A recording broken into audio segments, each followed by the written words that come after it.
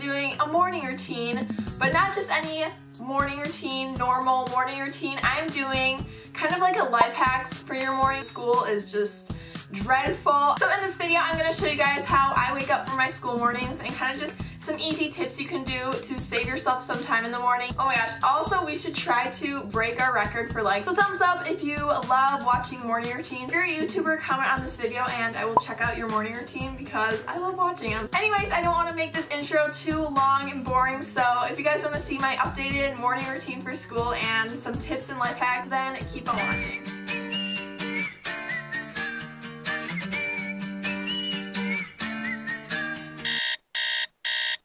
So my first tip is for those people that love laying in bed as long as possible in the morning. So to kind of trick yourself, setting your alarm clock 10 to 20 minutes before normal will give you some extra time. Also drinking slash chugging water first thing in the morning will also wake you up even more than a cup of coffee would.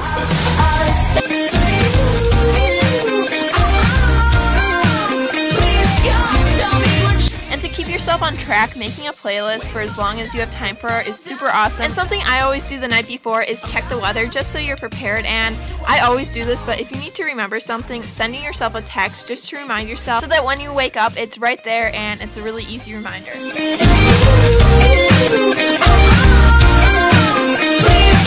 Shampoo is always the answer if you're running late in the morning, and usually my go-to hairstyle for school is some sort of braid, so that's just what I did today. And for my makeup, I usually keep it pretty simple, so just a tinted moisturizer, blush, mascara, and a lip tint, and that's about it. Without you, yeah.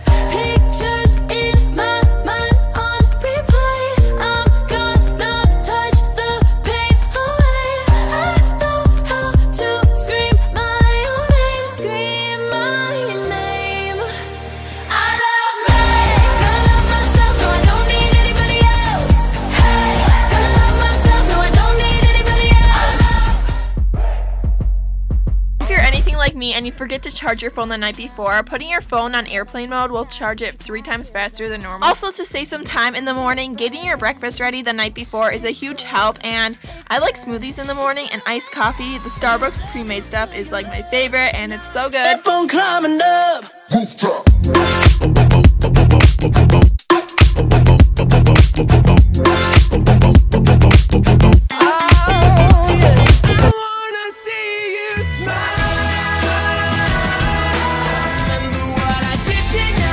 Also like picking out not one but two outfits the night before just so you have options in the morning. So for my outfit today, I just wore a sweatshirt that's from Forever 21, shorts that are Brandy Melville, and my shoes are Converse.